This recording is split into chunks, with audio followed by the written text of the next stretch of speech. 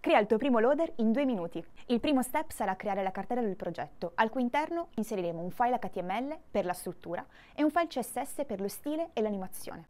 Il secondo step sarà aprire la cartella del progetto con Visual Studio Code. Una volta entrati in Visual Studio Code, l'editor di testo che utilizziamo, lanciamo all'interno del file HTML l'emmet HTML 2.5 per impostare il foglio HTML in automatico. Il terzo step consiste nell'inserire all'interno del body del nostro HTML il tag div, a cui daremo una classe che chiameremo loader.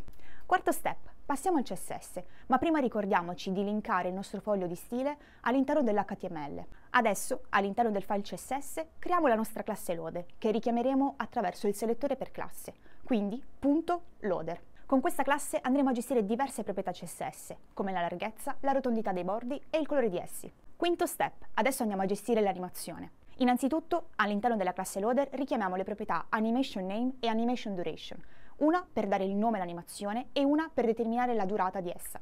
Queste due proprietà sono fondamentali per far sì che l'animazione funzioni.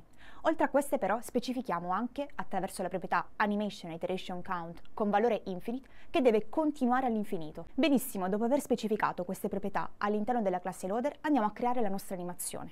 Utilizziamo adesso la regola at keyframes, seguita dal nome dell'animazione che stiamo gestendo, in questo caso loader. All'interno delle graffe del keyframes andremo a specificare ciò che deve avvenire nella nostra animazione, ovvero andremo a ruotare di 360 gradi all'infinito il nostro loader.